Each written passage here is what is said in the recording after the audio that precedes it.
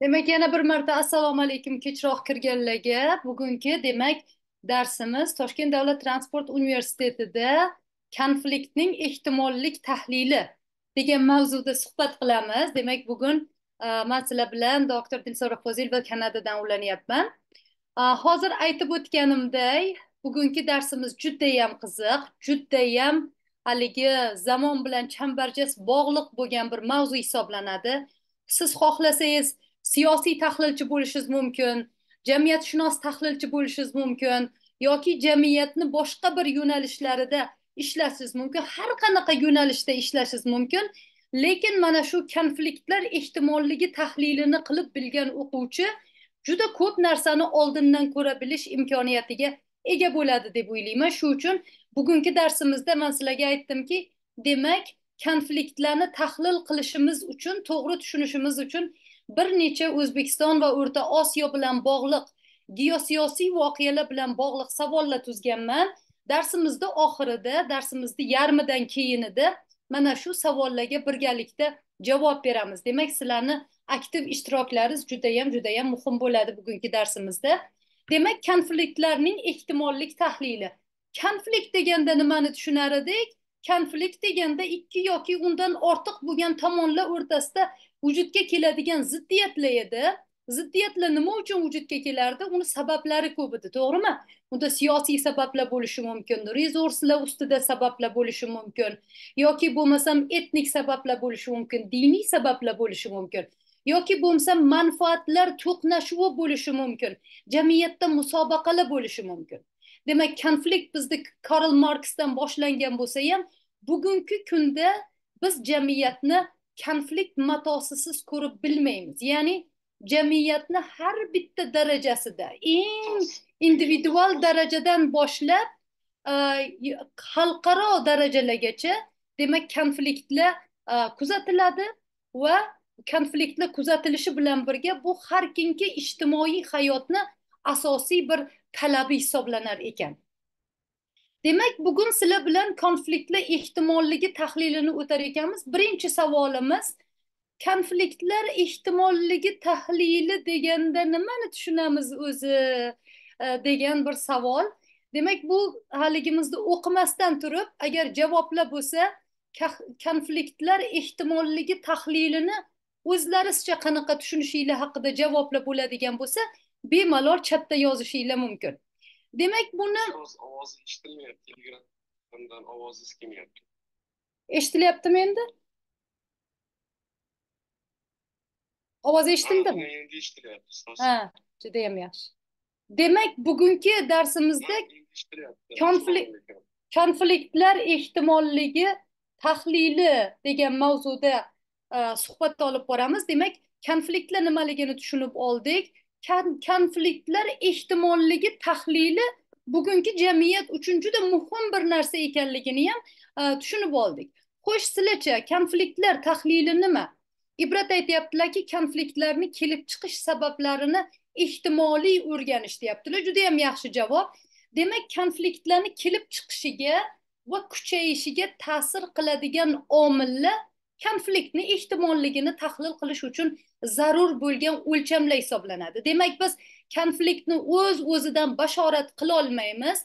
Qachonki konfliktni bashorat qilish uchun yetarli omillar bo'ladigan bo'lsa va buni scientific tarafdan agar biz mana statistikada biz haligi probability degan bir tenglamalarni o'rganamiz to'g'rimi? Mana shu tenglamalarga to'g'ri kelgandan keyingina biz konfliktlar kelib chiqishi mumkinligini oldindan tahlil qilishimiz mumkin. Konfliktlarni ehtimolligini tahlili odatda tarixiy kontekstdan ya'ni shu paytgacha nima bo'lgan edi yoki shu paytgacha qanday konfliktlar mavjud bo'lgan shu konfliktlarga ikki tomon qanaqa qilib javob qilgan tarixda mana shuni boshqacha yo'llar bilan javob topilgan vaqtlari bo'lganmi degan savollarga javob berishdan kelib chiqamiz. Siyosiy dinamikadan kelib chiqamiz. Ya'ni bugun mana shu mintaqada agar mintaqa ustida ketayotgan bo'lsa yoki davlatlar ustida ketayotgan bo'lsa qanaqa muammolar ko'tarilyapti? Mintaqadagi dinamika bizga qanaqa omillar to'g'risida ma'lumot berishi mumkin degan savolni berishimiz mumkin. Undan keyingisi ijtimoiy iqtisodiy omillar. Biz sizlar bilan oldingi darslarimizda gaplashgan edikki demak konfliktlarni kelib chiqishiga juda ko'p ta'sir qiladigan sabablardan bittasi bu resurslar ustidagi konfliktlar bo'lishi mumkin edi. Demak mana shundan kelib chiqib biz e, konfliktlarni konfliktlarni tahlil qilishimiz mumkin bo'lar ekan. Bir daqiqa.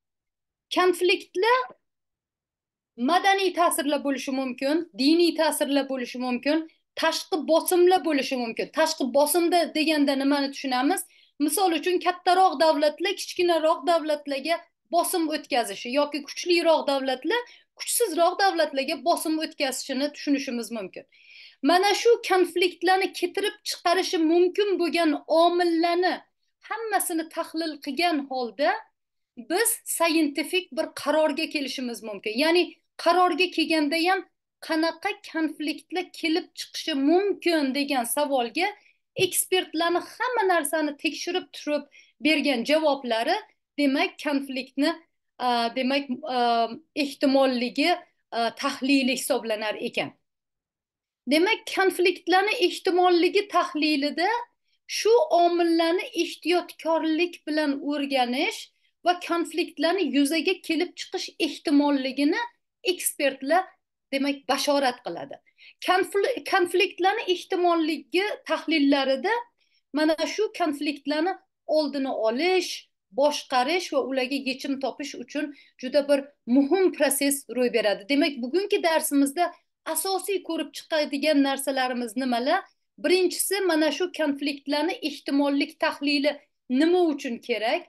Qaysi holatlarda ularni kuzatamiz? Shunga ha ba'zi bir teoriyalar to'g'risida gaplashamiz ba'zi bir holatlar to'g'risida gaplashamiz va oxirida mana shu o'zbekiston va e, o'rta osiyo bilan aloqador bo'lgan ba'zi bir demak savollarga bugun javob berar ekanmiz. Xo'sh konfliktlarni ehtimollik tahlili nima uchun kerak?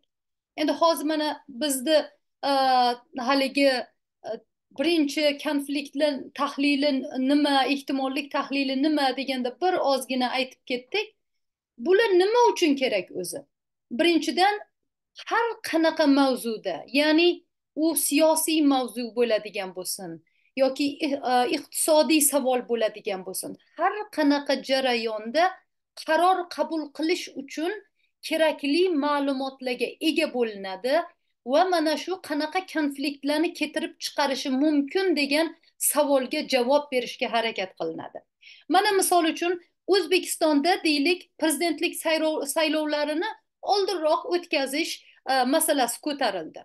Mana shu masalani ko'targanda mana shu o'zbekistonda saylovlarni oldinroq o'tkazilishi o'tkazilishi munosabati bilan kelib chiqishi mumkin bo'lgan hamma konfliktlar oldindan o'rganib chiqiladi. Qanaqa konfliktlar bo'lishi mumkin?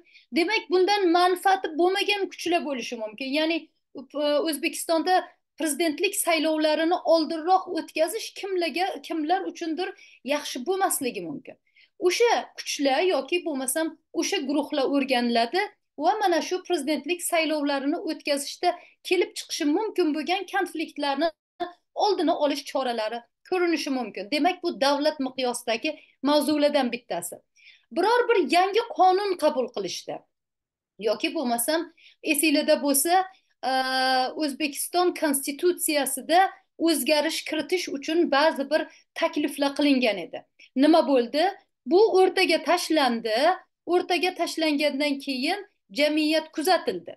Jamiyat kuzatilgan paytda konfliktlar qayerdan kelib chiqishi mumkinligini oldindan bashorat qilish ehtimolligi paydo bo'ldi.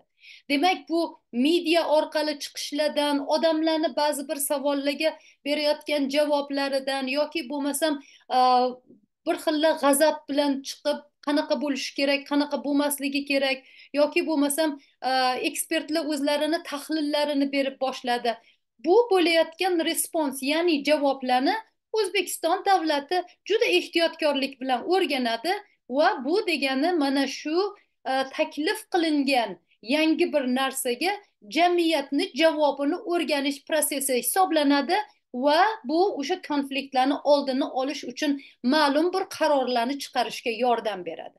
Demak biz hozir ikkita narsani ko'ryapmiz. Birinchisi davlat prezidenti bilan bog'liq bo'lgan e, qaror chiqarishda nima uchun jamiyatni demak fikrlari muhim va bu konfliktlarni oldini olishga qanchalik ta'sir ko'rsatadi? Ikkinchisi konstitutsiya darajasida. Ya'ni konstitutsiyada kichik bir o'zgarish kiritish uchun ham jamiyatda har xil konfliktlar kelib chiqishi mumkinligini davlat biladi va bunga taklif oldindan jamiyatga tashlanadi va jamiyatning javoblaridan kelib chiqib qanaqa konfliktlar ehtimolligi borligi kalkulyatsiya qilinadi yoki hisoblab chiqiladi. Keyingisi yana pastroqqa tushadigan bo'lsak qonunlarda o'zgartirish kiritilmoqchi bo'lsa deylik ba'zi bir qonunlarda kattagina o'zgarish kiritilmoqchi bo'ldi. Bu din bilan aloqador qonunlar bo'lsin yoki bo'lmasam ta'lim sistemasi bilan aloqador qonunlar bo'lsin immigratsiya bilan aloqador qonunlar bo'lsin yoki pasport bilan aloqador qonunlar bo'lsin. Mana shu qonunlarni chiqarishdan oldin taklif tashaladi taklif tashalganda nima uchun tashaldi bu taklif? Bu taklif oldindan konfliktlar ehtimolligini aniqlash uchun tashlandi agar biz agar davlat biror bir konfliktdan qo'rqmaydigan bo'lsa biror bir konfliktni hisobga olmaydigan bo'lsa to'g'ridan to'g'ri o'sha davlat tepasidagi elitani maslahatlari bilan demak shu qarorlarni chiqarib qo'yishi mumkin. Lekin aynan taklifni berilishi bu jamiyatda bo'ladigan javoblarni hisobga olish vaqti hisoblanadi. Bu jamiyatda bo'ladigan har qanaqa javob reaksiyalarini qabul qilish va konfliktlarni oldindan konfliktlar ehtimolligini hisoblab chiqish imkoniyatini beradi. Demak bu qonun doirasida xo'sh pastki doiralar pastroqdagi doiralarda ya'ni pastroq deganda endi biz haligi tepadan kelyapmizda davlatni prezidenti miqyosida undan keyin haligi qonunlar yoki konstitutsiya qonunlar undan keyin tashkilotlar institutlar shunga o'xshagan miqyosdagi o'zgarishlarni qabul qilishda demak ma'lum bir konflikt tahlillarini e, oldindan bir biz qilib ko'ramiz. Lekin bu konfliktlarni tahlilini bittagina misoli ya'ni qonun qabul qilish yoki bo'lmasam davlat miqyosida ekspertlar o'ylab oldindan qiladigan narsa. Ba'zi bir holatlarda biz oldindan takliflarni tashlamasligimiz mumkin ammo bu yerda e, vujudga kelishi mumkin bo'lgan konflikt konfliktli ehtimolligi bo'lishi mumkin. Masalan agar davlat biror bir viloyatda qaysidir mavzuda e, qaysidir noroziliklar kuchayayotgan bo'lsa u suv mavzusi bo'lishi mumkin ta'lim mavzusi bo'lishi mumkin korrupsiya bo'lishi mumkin yoki biror bir sharoitni yetmasligi bo'lishi mumkin shu demak shu manba atrofidagi hodisalar o'rganib turiladi va ekspertlarni tahlillari har doim eshitib boriladi. Demak prezidentga brifing deyiladi. Prezidentga har kuni ertalab endi mani biladiganim e, mana shu yevropa davlatlarida yoki bo'lmasam e, g'arb davlatlarida e, har ertalab prezidentga bo'layotgan voqealar to'g'risida ma'lum bir hamma biladigan demak o'sha prezident elitasida yoki bo'lmasam siyosatchilar doirasida ma'lum bo'lgan muammolar to'g'risida har kuni ertalab prezidentga brifing qilinadi. Bu brifing qilinganda aynan o'sha hodisa kechadan beri qanaqa o'zgarishlar bo'lganligi agar biror o'zgarish bo'lgan bo'lsa ekspertlar bunga qanaqa tahlil berayotganligidan iborat. Bu judayam muhim narsa. Sababi agar biror joyda og'riqli nuqta bo'ladigan bo'lsa xoh u amerikada bo'lsin xoh kanadada bo'lsin xoh e, o'zbekistonda bo'lsin biror og'riqli nuqta bo'ladigan bo'lsa agar o'sha joyda bir kichkinagina o'zgarish bo'ladigan bo'lsa o'sha kichkinagina o'zgarish konfliktlar ehtimolligiga ta'sir ko'rsatadi. Yo uni kamaytiradi yo uni kuchaytiradi. Demak o'sha kichkinagina ta'sirni kuzatish va ekspertlarni bu to'g'risidagi tahlillarini olish judayam muhim va buni o'sha prezidentga olib borib yetkaziladi va prezident o'sha ekspertlar bilan birgalikda o'sha muammo atrofida qarorlar qabul qilishi mumkin. Demak biz ko'ryapmizki aslida biz u darajada e'tibor bermaydigan konfliktlar ehtimolligi tahlili davlat siyosati uchun ham yoki bo'lmasam katta tashkilotlar uchun ham iqtisodiy tashkilotlar uchun ham boshqa tashkilotlar uchun ham judayam bir muhim masala hisoblanadi. Bu potensial xavflarni demak potensial xavflarni hisoblash uchun ham xizmat qiladi. Potensial xavflar deganda nimani tushunamiz? Bu xoh davlat siyosati bo'lsin xoh bu iqtisod bo'lsin xoh bu davlat xavfsizlik xizmatlari bo'lsin xoh ichki ishlar bo'ladigan bo'lsin. Davlatni yoki jamiyatni har bir yo'nalishida o'zini potensial xavflari bo'ladi. Va bu potensial xavflarni kuchayish ehtimolligini oldindan baholash mumkin. Mavjud bo'lgan risklarni kalkulyatsiya qilish yoki hisob kitob qilish mana shu konfliktni ehtimolligini demak tahlil qilishni bir qismi hisoblanadi. Bu tahlillardan konfliktlarni oldini olish yoki bo'lmasam konfliktlarni kamaytirish uchun foydalaniladi. Konfliktlarni oldini olish deganda nimani tushunamiz? Demak biz konflikt bo'lishidan oldin konflikt ehtimolligini o'rgandik va mana shunga mana shu konfliktlarni keltirib chiqarishga ta'sir qiladigan omillarni omillarga ta'sir o'tkazish bilan biz konfliktni oldini olishga harakat qildik. Yana o'sha o'zbekiston konstitutsiyasiga o'zgarish kiritish to'g'risidagi haligi takliflar to'g'risida e, takliflarga biroz e'tibor beradigan bo'lsak o'shanda qanaqa o'zgarish bor edi? Qoraqalpog'iston muxtor jumhuriyati to'g'risida o'sha konstitutsiyaga o'zgarish kiritishi kiritilishi ko'zda tutilgan edi. Nima bo'ldi? Demak qoraqalpog'istonda xalqni noroziligi ro'y berdi. Haligi konstitutsiya o'zgarishidan oldin. Prezidentimiz bunga qanaqa javob berdilar? Demak aytdilarki biz hech narsani o'zgartirmaymiz. Demak taklif tashaldi jamiyatdagi ta'sir o'rganildi jamiyatni javob reaksiyasi o'rganildi va konfliktlar ehtimolligi hisoblab chiqildi. Konfliktlar ehtimolligi biz xohlagandan kattaroq bo'lganligi sababli demak bu o'zgarish kiritilmadi. Demak o'sha konfliktni oldini olish yoki bo'lmasam konfliktni kamaytirishga erishildi. Bu o'sha siyosiy darajada juda muhim bo'lgan qadam edi va shu qadam qo'yildi. Xo'sh agar shu konfliktlarni ehtimolligini hisobga olmaganda oldin jamiyatga takliflar tashalmaganda nimalar qilish ko'zda tutilgani aytilmasdan shu narsa qilinganda nima bo'lardi? Demak biz kutmagan juda katta konfliktlar kelib chiqishi mumkin edi.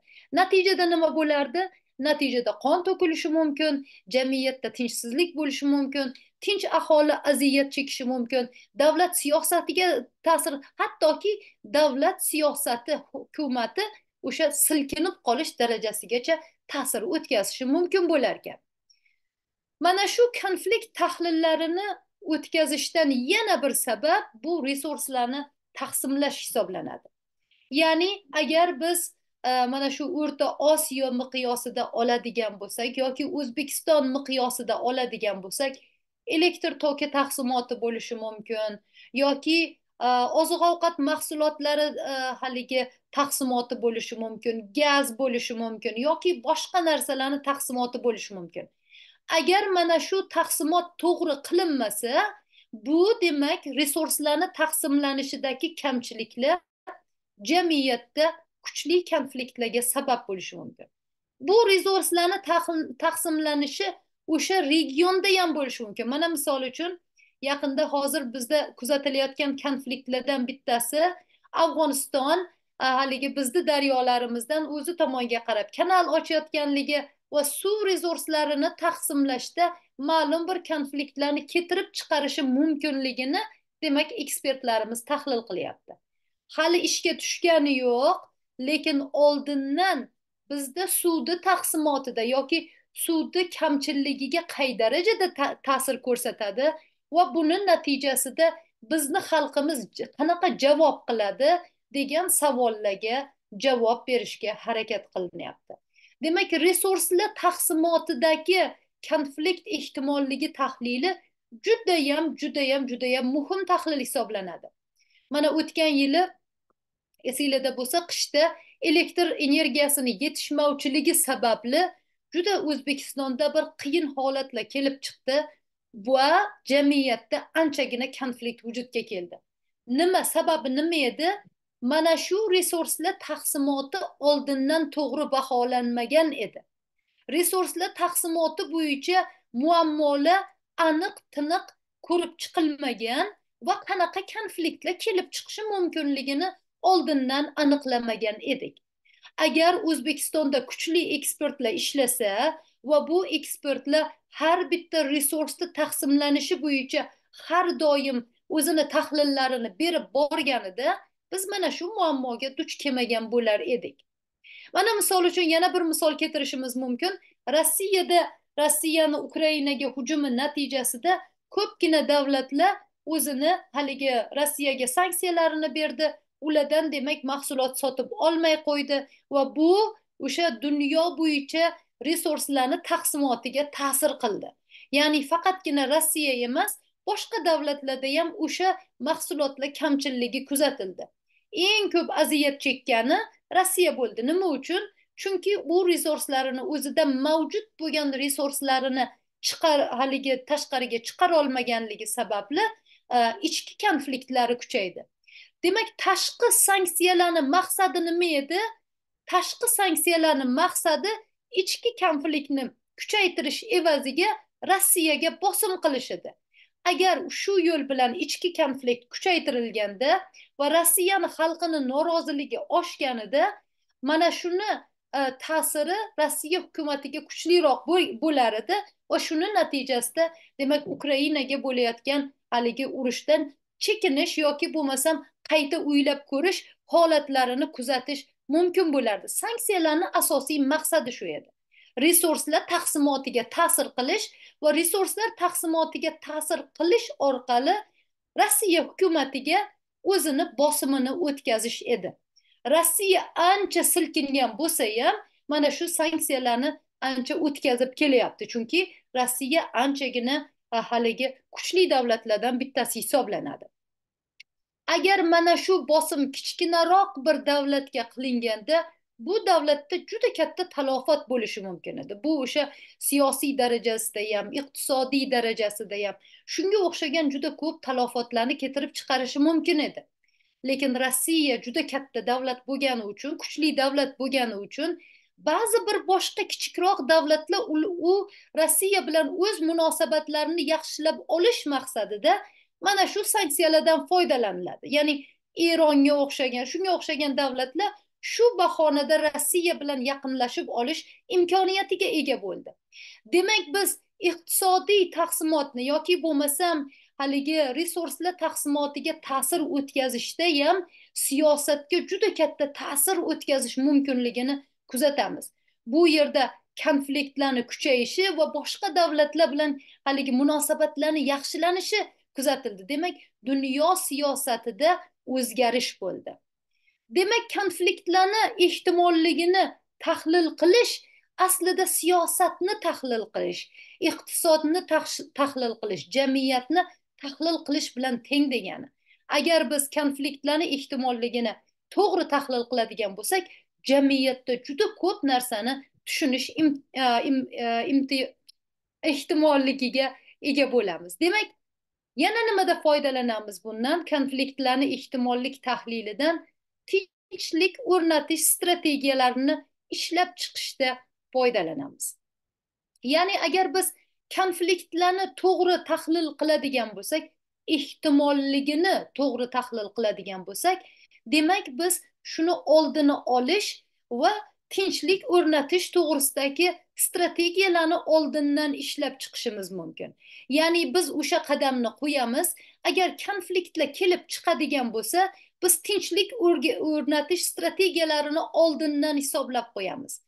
Biz bitta qadam tashlamoqchimiz o'sha regionda bitta qadam tashlamoqchimiz deylik. O'sha qadamni tashlagan paytimizda bu yerda to'qqizta yoki o'nta konflikt kelib chiqishi mumkinligini ekspertlarimiz bizga aytadi.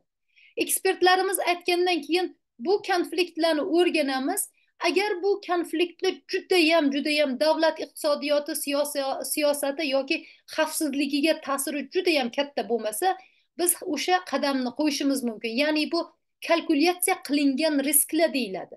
Demak oldindan o'lchangan risklarni olish evaziga biz siyosatimizni yuritamiz lekin biz konfliktlarni oldindan tahlil qilganimiz sababli tinchlik o'rnatish yoki bo'lmasam kelib chiqadigan konfliktlarni bartaraf etish strategiyalarini konfliktlar paydo bo'lmasdan oldin ishlab chiqamiz. Agar bizda o'nta konflikt kelib chiqish ehtimolligi bo'lsa uni har bittasiga bittadan ortiq haligi tinchlik o'rnatish yoki bo'lmasam konfliktni bartaraf etish strategiyalarini oldindan o'ylab qo'yishimiz mumkin. Demak har bitta qo'yiladigan qadam uchun davlat juda ko'p konflikt ehtimolligi analizlarini qilishiga to'g'ri keladi. Har bitta kichkinagina agar misol uchun katta davlatlarni deylik rossiyani ukrainaga hujumini yoki bo'lmasam shunga o'xshagan konfliktlarni yoki shunga o'xshagan bir qadamlarni qo'yishdan oldin hamma taraf har bitta davlat har bitta ta'sir etishi mumkin bo'lgan o'sha omil o'rganib chiqiladi va ularni bartaraf etish yo'llari ko'rib chiqiladi. Mana misol uchun o'sha hamasni birinchi bo'lib konsert bo'layotgan joyga bo'lgan haligi terroristik harakatini hisobga oladigan bo'lsak u qanchalik darajada sizlar o'ylab ko'rishinglar uchun u qanchalik darajada tahlil qilingan edi? Unda o'sha qaysi omillar ta'sir qilishini undan kelib chiqadigan konfliktlar yaxshi o'rganilgan edimi? Agar o'rganilgan bo'lsa shu narsani haligi falastin yoki bo'lmasam hamas bilib turib qadamni qo'ydimi? Ya'ni bugungi darajadagi to'kilgan qonga olib boradigan yo'lni u oldindan hisoblab chiqqan edimi degan bir savol paydo bo'ladi bizda. Agar oldindan o'ylab qo'yilmagan bo'lsa yoki ishlab chiqilmagan bo'lsa u qanchalik aqlli qaror chiqarilgan edi yoki konfliktlar ehtimolligi tahlillari qilingan edimi degan bir savollar paydo bo'ladi. Demak har bitta davlat juda risk olishdan oldin mana shu riskdan kelib chiqadigan muammolarni yoki konfliktlarni oldindan kalkulyatsiya qilish kerak yoki o'lchamlarini bilish kerak.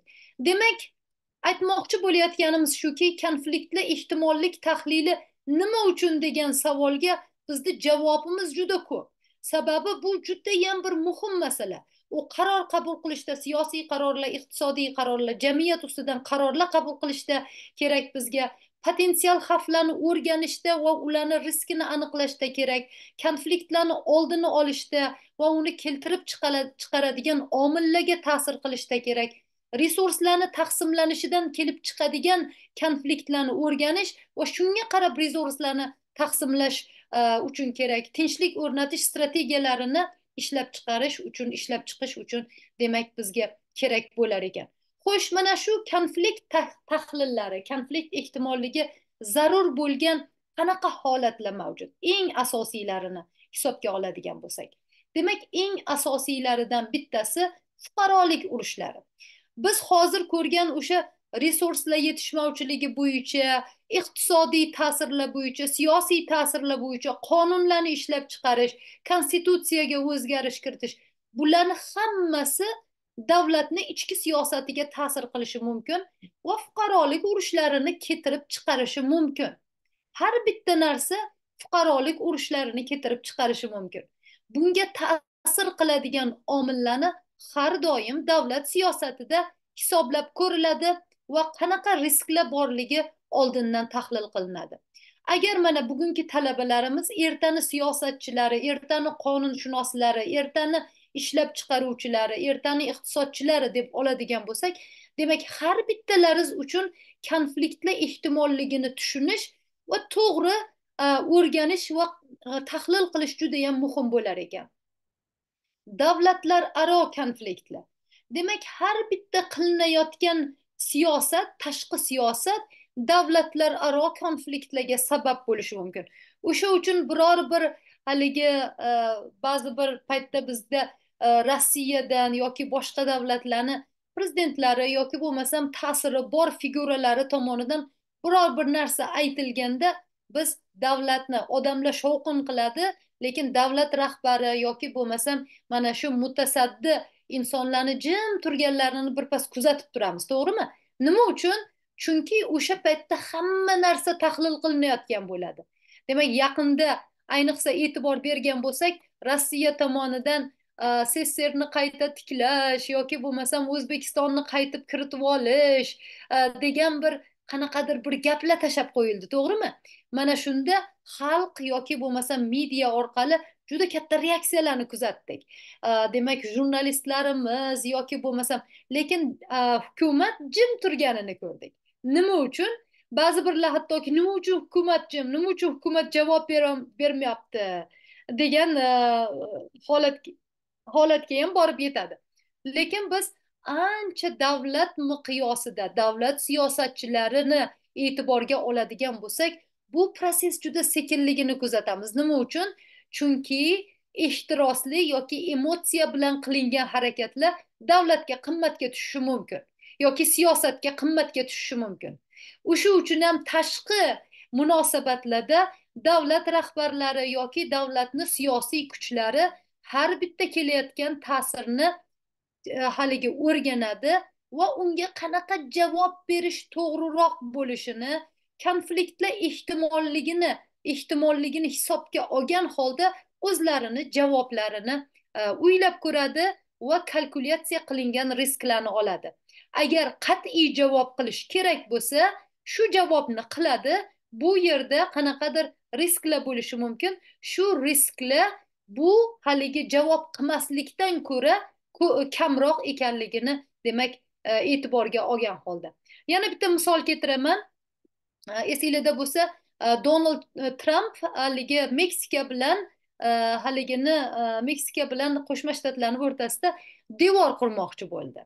Demak uni bu prezidentlik saylovlarida haligi ko'tarib chiqqan masalalaridan bittasi bo'ldi. Sabab nima edi?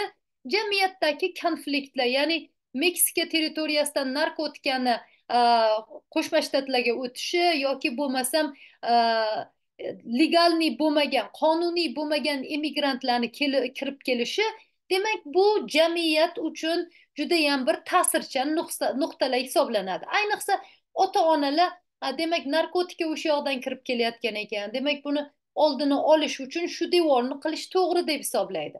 Demak mana shu gapni aytishini o'zi bu judayam yaxshi o'lchab ko'rilgan bir e, chiqish edi.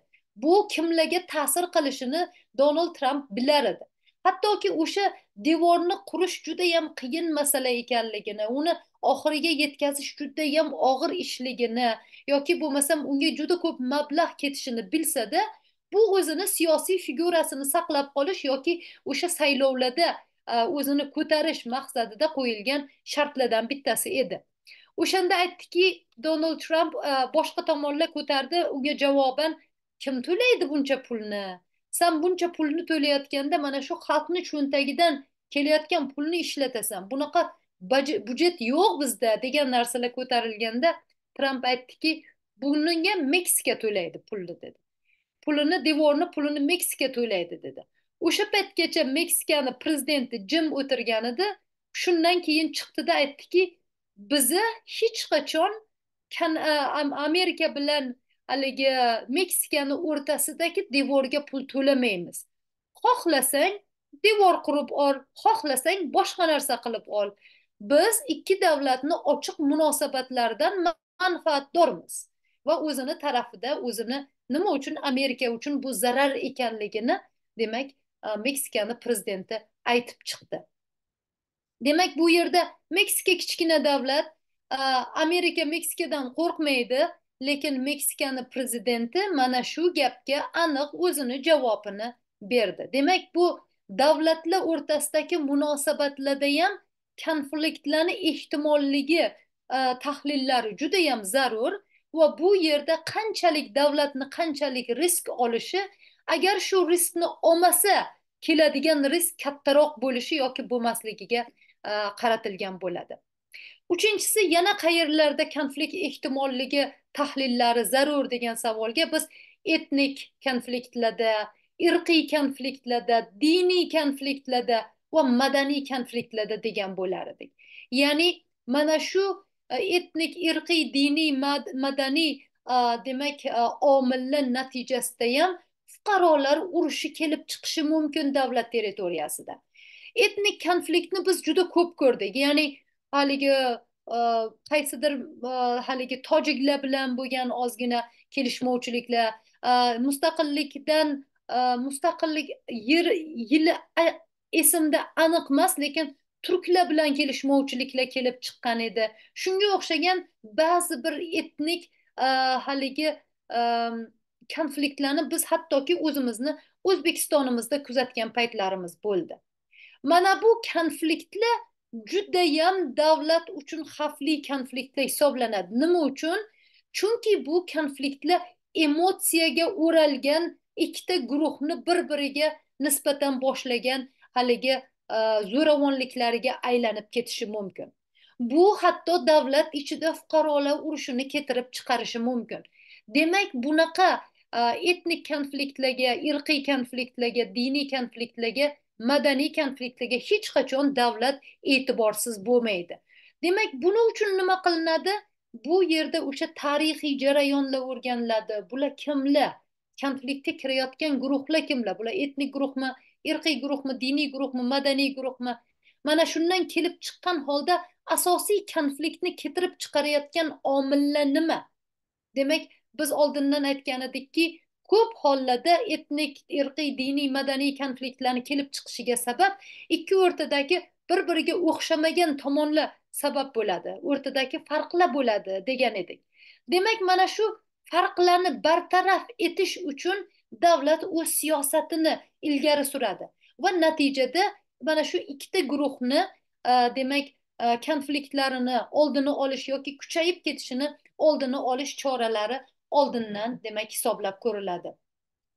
Yana eng ko'p konflikt ehtimolligi uchun zarur bo'lgan tahlillardan bittasiga terroristik harakat tahlillari kiradi.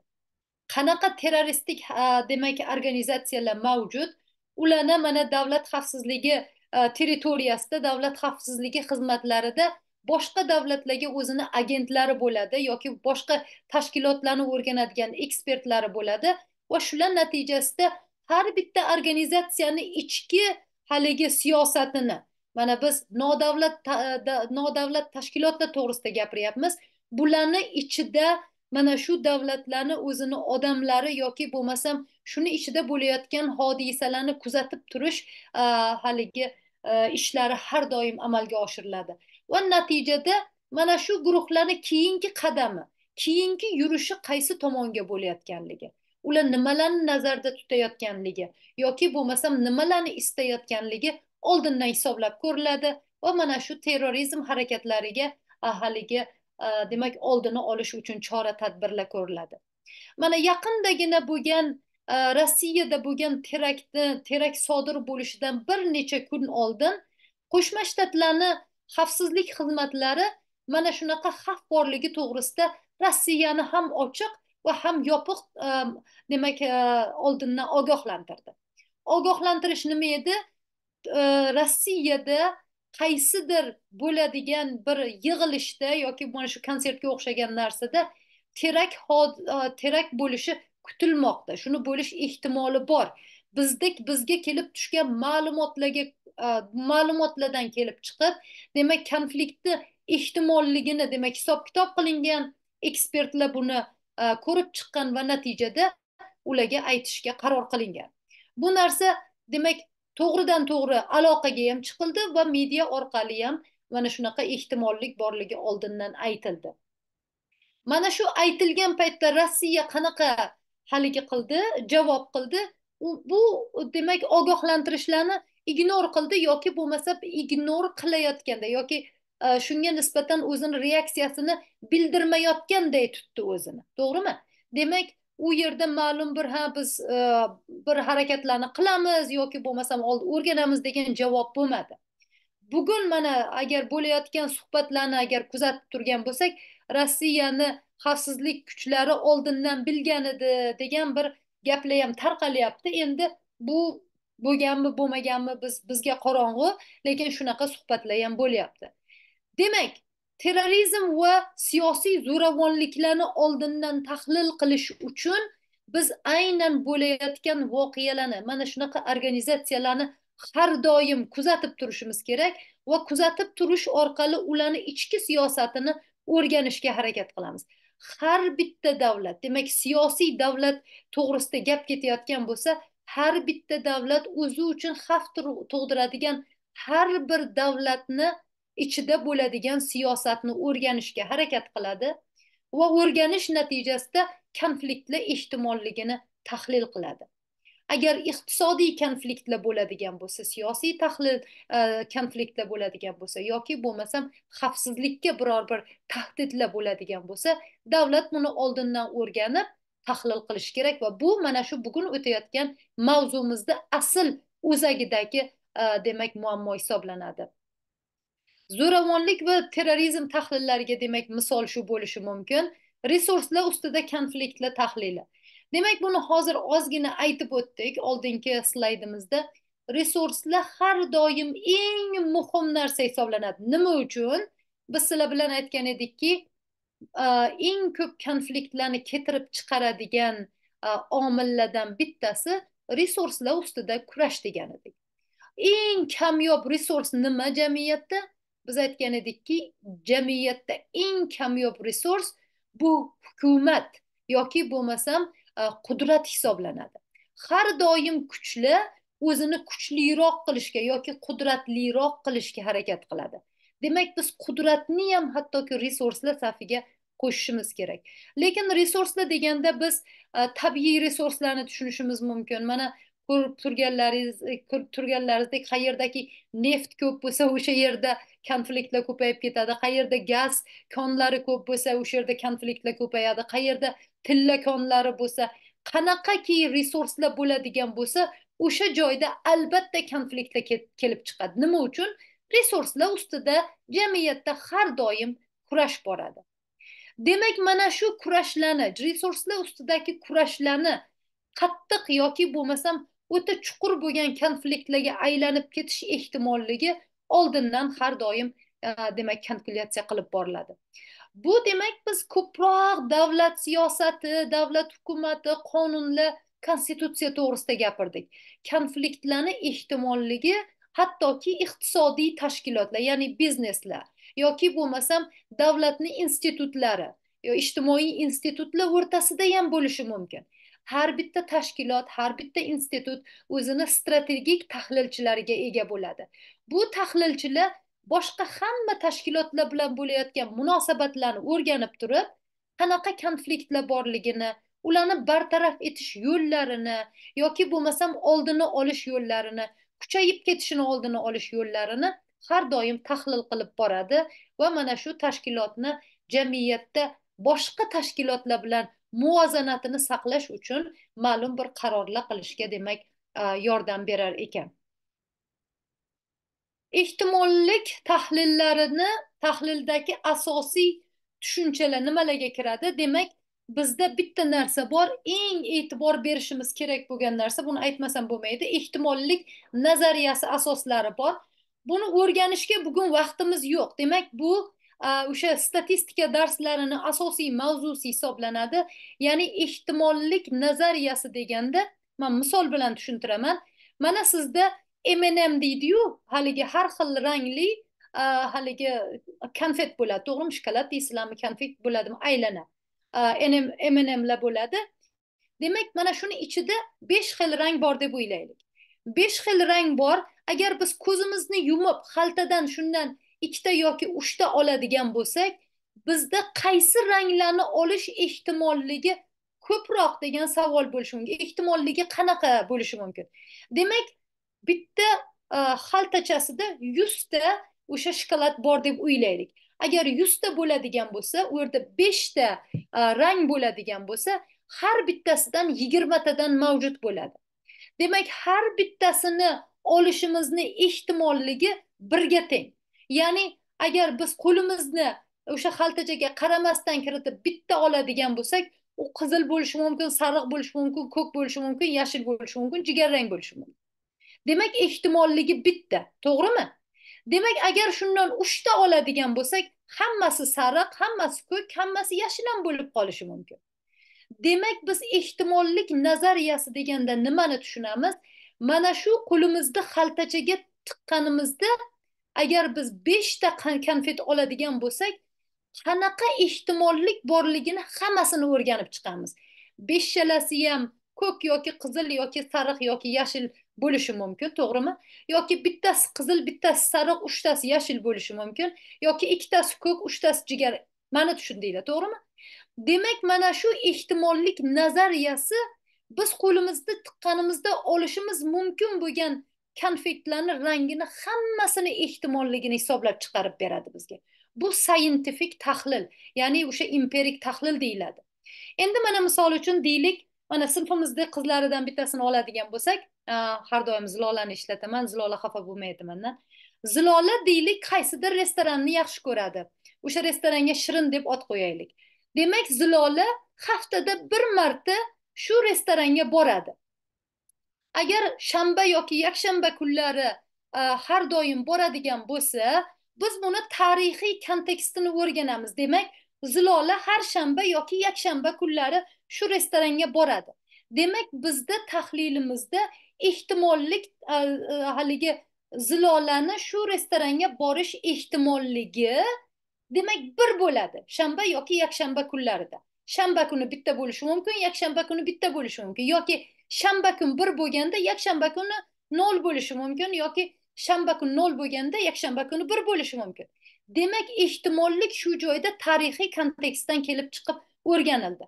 Agar biz mana shu restorandagi ovqatlarni narxi qaysidir kunlar shanba yoki yakshanba kunda yigirma protsent tushirsa tushishini zilola bilsa va bu zilolani qarorlariga ta'sir qiladigan bo'lsa demak shanba kuni e, demak narxlar yigirma protsent tushadigan bo'lsa bu omil zilolani yakshanba emas shanba kuni borishiga tahlil qilish ta'sir qilishi mumkin. Demak bu omil natijasida zilola shirin kafesiga har shanba kuni borishni odat qilishi mumkin.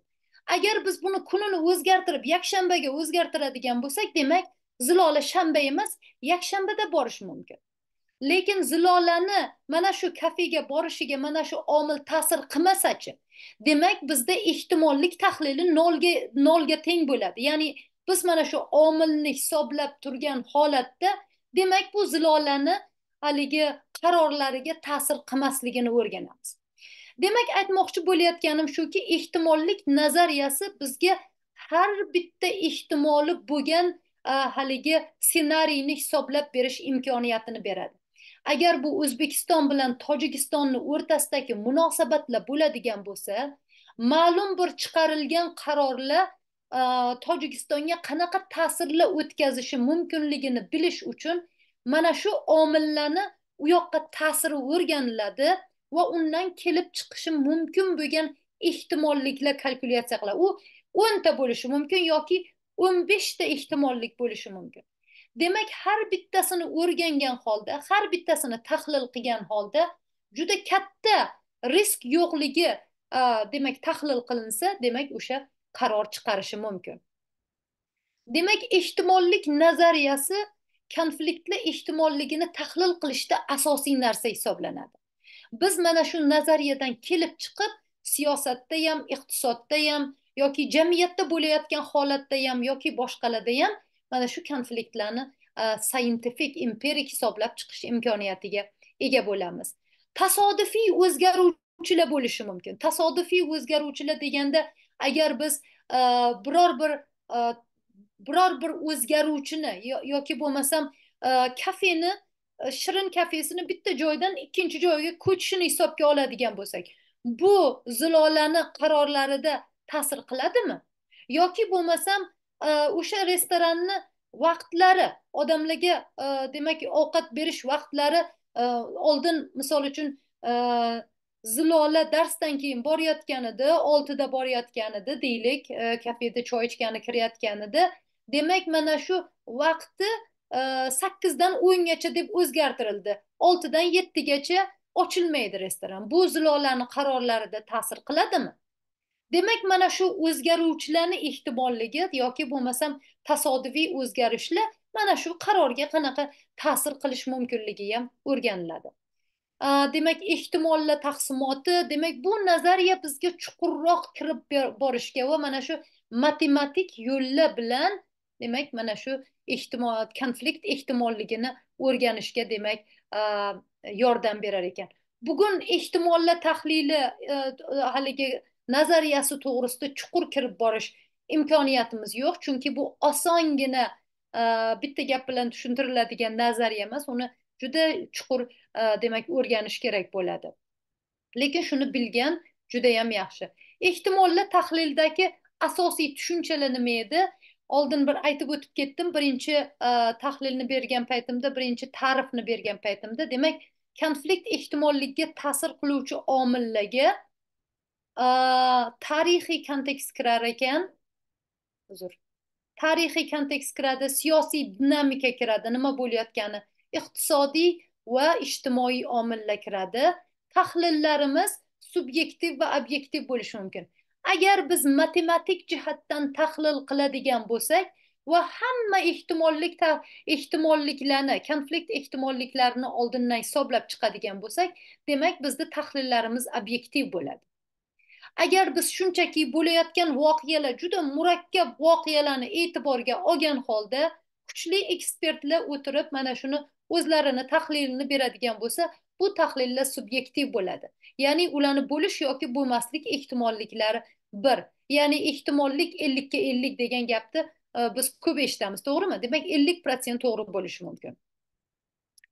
Demak konfliktlarimizni tahlil qilish usullari qanaqa?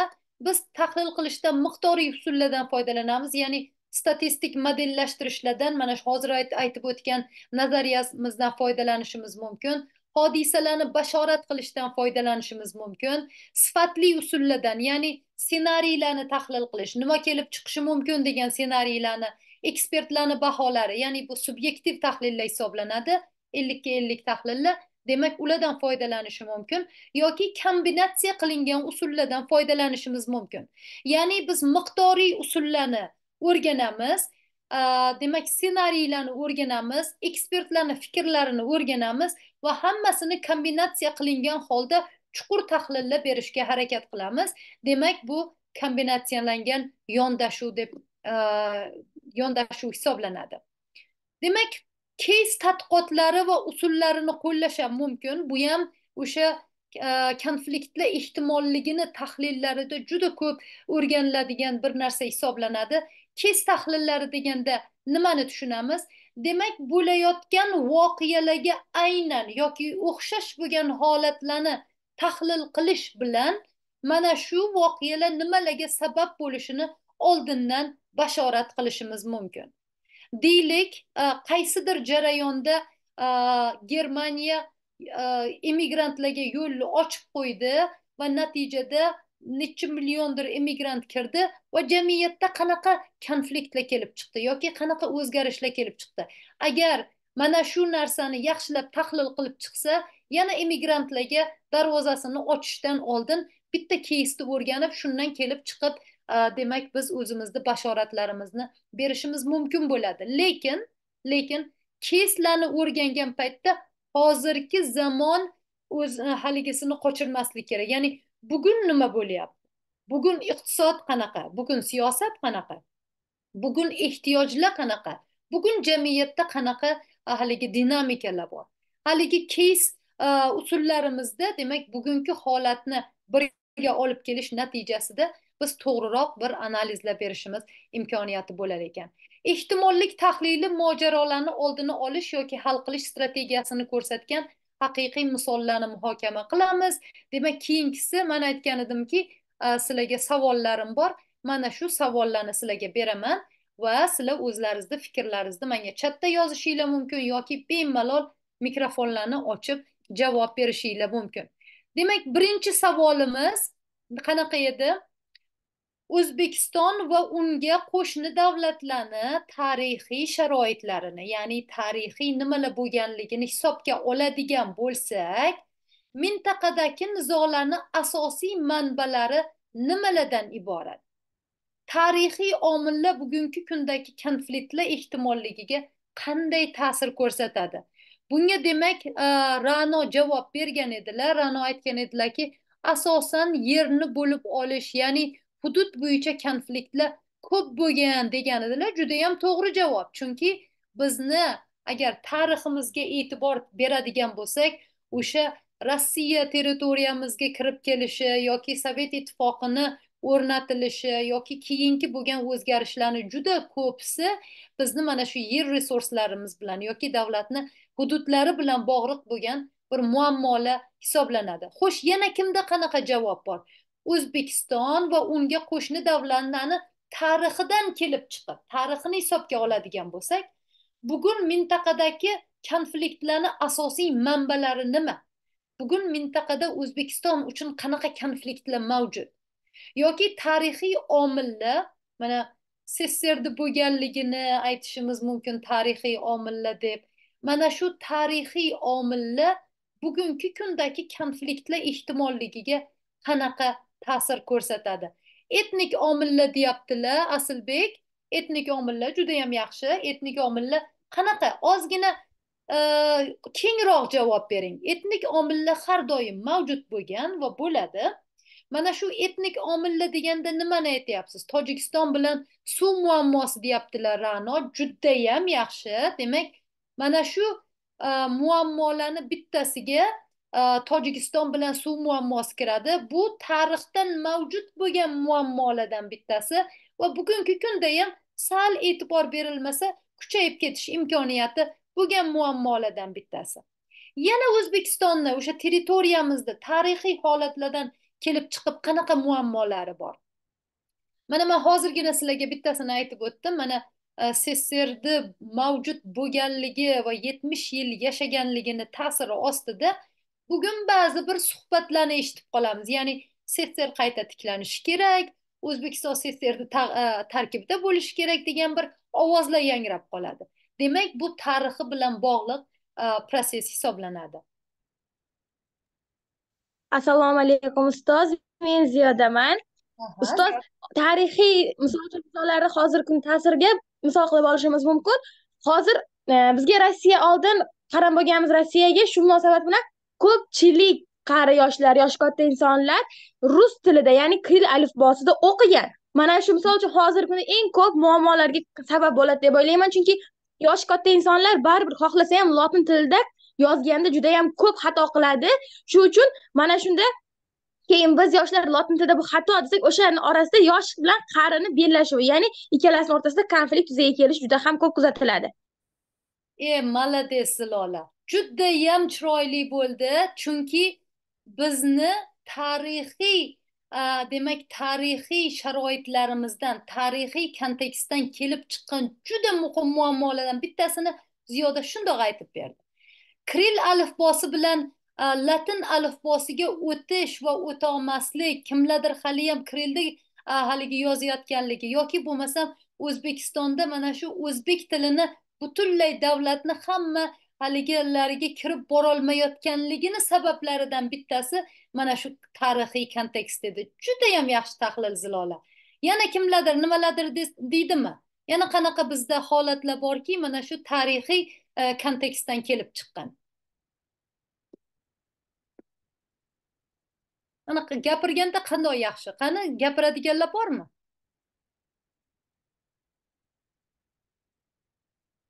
Bo'lmasam ikkinchi savolga o'taman. Ikkinchi savolimiz markaziy osiyoda konfliktlar ehtimolligini tahlil qilishda mintaqaviy ittifoqlar ya'ni ittifoqchilarimiz kimlar bizni? Iqtisodiy manfaatlar va tashqi ta'sirlar kabi geosiyosiy omillar qanday rol o'ynaydi? Demak bugungi kunda konfliktlarni ehtimolligida uchta narsani aytyapmiz.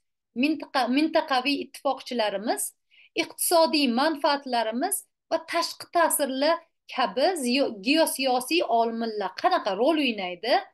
Ushbu omillar markaziy osiyodagi davlatlarni ichki dinamikasiga qanaqa ta'sir qiladi? Hozir aytib o'tganimdek demak biz ozgina siyosatimiz bilan e, demak qiziqqan bo'lishimiz kerak bu uchun. Demak bizda ittifoqchilarimiz kim? Iqtisodiy manfaatlarimiz qayerda? Kim bilan haligi ittifoqchilik qilish orqali bugungi kunda bizni iqtisodimizda yaxshilanish bo'lyapti yoki qanaqa bizga investitsiyalar kirib kelyapti. Demak investitsiyalarni kiritish ham ittifoqchilik bilan bog'liq bo'lgan bir masala hisoblanadi. Demak mana shularni ta'siri e, qanaqa bo'lishi mumkin yoki e, bular davlatni ichki ichki dinamikasiga qanaqa ta'sir ko'rsatadi degan savol. Javoblar bormi? Ustoz bunga narsani qilib olishimiz mumkin misol uchun xitoy bilan biz hamkorlik qilamiz xitoydan kiyim olamiz turli xil mahsulotlar olamiz lekin kiyim uchun paxta mahsulotlar o'zimizda ishlab chiqara olmasligimiz ya'ni imkoniyatimiz yetmasligi sabab qismini xitoyga chet davlatlarga chiqarib beramiz. Uni o'zimizga o'zimiz chiqargan mahsulotdan qimmatroq bizning iqtisodimizda rivojlanishda ozgina bo'lsa ham pasayishni nima deydi yuzaga keltirishi mumkin. Nimaga deganda agar o'sha paxtani o'zimiz ishlab chiqarsak va o'sha imkoniyatimiz bo'lsa o'shani o'zimiz ishlab chiqsak mumkin. Lekin bizni imkoniyatimiz bo'lmaganligi zotimizni qimmatroq qilib sotib olamiz. Judayam yaxshi. Bu ham judayam yaxshi tahlil zilola. Demak zilola aytyapti ziyoda aytyaptilarki biz mana misol uchun xitoydan sotib oladigan kiyim kechaklarimiz to'g'risida o'ylashimiz mumkin. Bu ittifoqchilikni natijasi. Demak biz ular bilan savdo sotiq qilyapmiz. Lekin bu ichkaridagi Э, dinamikaga ta'sir qiladi deyaptilar. Juda yam yaxshi tahlil. Qanaqa ta'sir qiladi? Biz paxta yetishtirib chiqaruvchi davlat bo'lganimiz sababli demak biz o'zimiz aslida shu narsalarni qilishimiz kerak edi. Tashqaridan sotib olmasligimiz kerak edi. Demak mana shu bizni ittifoqchiligimiz iqtisodiy ittifoqchiligimiz natijasida ichkaridagi dinamika o'zgaradi. Demak bu bizni bir tomondan iqtisodiyotimiz uchun foydali haligi e, demak e, oldi sotiq deb o'ylaydigan bo'lsak aslida u iqtisodimiz uchun zarar bo'lishi mumkin. Ya'ni biz paxta ishlab chiqaruvchi davlat sifatida xom ashyomiz paxta bo'lgan davlat sifatida biz o'zimiz mana shu konkurensiyada g'olibroq bo'lib biz mahsulotlarimizni balki boshqa joylarga sotishimiz kerak edi. Demak bizni xitoydan e, kiyim kechak savdo sotiq qilishimiz bu davlatni ichki siyosatiga yoki ichki dinamikasiga salbiy ta'sir ko'rsatadi. Judayam yaxshi tahlil. E, aslbek aytyaptilarki biz asosan turkiy davlatlar bilan yaqinmiz. Shu jihatdan biz ular bilan e, u yoki bu sohada ittifoq tuzganmiz. Rivojlangan davlatlar bilan asosan xitoy va yevropani bir davlatlarni ayta olamiz. Judayam yaxshi. Demak biz turkiy davlatlar deganda kimlarni e'tiborga olamiz? Demak bu turkiyani olishimiz mumkin va beshta mana shu demak o'rta osiyodagi markaziy osiyodagi davlatlarni hisobga olishimiz mumkin to'g'rimi? Yoki ozarbayjonni hisobga olishimiz mumkin. Bular turkiy tillilarga kiradigan bo'lsa demak bular bilan deyaptilar asilbek aytyaptilar bizni ittifoqimiz juda yam yaxshi to'g'ri ular bilan ko'proq biz mana shu madaniy sohalarda yoki bo'lmasam e, shunga o'xshagan yo'nalishlarda ko'proq ittifoq qilamiz. Boshqa iqtisodiy ittifoqchilarimiz boshqa davlatlar bo'lishi mumkin. Siyosiy ittifoqchilarimiz boshqa davlatlar bo'lishi mumkin to'g'rimi? Vaqtimizni ketkazmasdan keyingi savolga o'taman. So'nggi yillarda o'zbekiston va markaziy osiyo mintaqasida qanday xavfsizlik muammolari va potensial konflikt manbalari paydo bo'lmoqda. Demak bu bugungi kunda kuzatilayotgan xavfsizlik manbalari ya'ni qanaqa xavf bor bizga?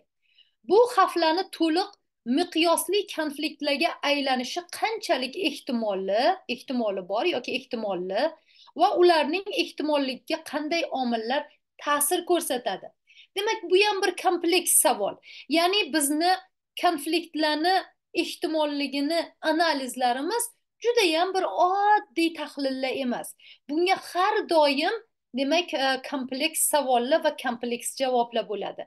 Biz mana bu masalaga kelganda shanxay e, demak e, shanxay birlashmasini yoki bo'lmasam demak kollektiv xavfsizlik tashkilotini masalalarini ko'rib chiqishimiz kerak. Ularni bunga ta'siri qanaqa bo'ladi?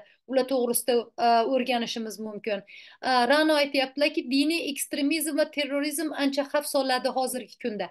Keyingi savolimiz ra'no shu to'g'risida. Ozgina vaqtimiz qoldi demak harakat qilamiz e, shu oxirgi savolimizga javob berishga.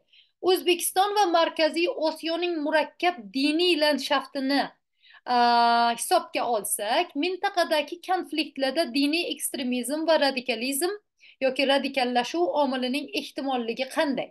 Hukumatning amaldagi siyosati va strategiyalari ushbu xavfni kamaytirishga kamaytirish uchun qanchalik e, samarali?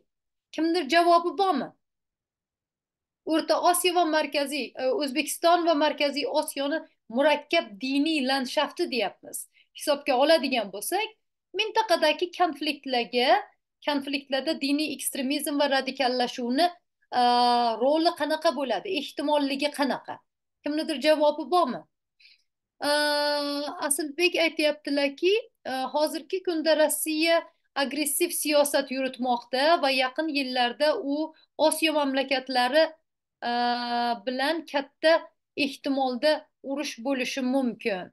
Demak hozir mana asilbek bo'layotgan voqealarni siyosiy dinamikadan kelib chiqib o'zlarini E, tahlillarini berdilar. Demak konfliktlarni kelib chiqish ehtimolligi tahlili deymiz buni. Tahlilni berib demak hozirgi voqealarni kuzatgan holda keyingi mana bir necha o'n yilliklarda o'zbekiston yoki o'rta osiyo bilan rossiya o'rtasida qanaqadir e, konflikt dinamikalari boshlanishi mumkinligini demak bashorat qilyaptilar. Bunga asos yo'q emas. Ra'no aytyaptilarki bunda o'zbekistonda diniy ekstremizm va terrorizmga qarshi chora tadbirlar bor ammo bu ham foydali natija bermayapti deyaptilar. Ra'no judayam yaxshi. Demak bugungi kunda hukumatni amaldagi siyosat va strategiyasi ushbu xavfni kamaytirishda qanchalik samarali? Bu savollar aslida tezgina javob berib oladigan savollar emas judayam kompleks savollar. Shularni bilib turib man sizlarni o'rtalaringizga tashlagan edim.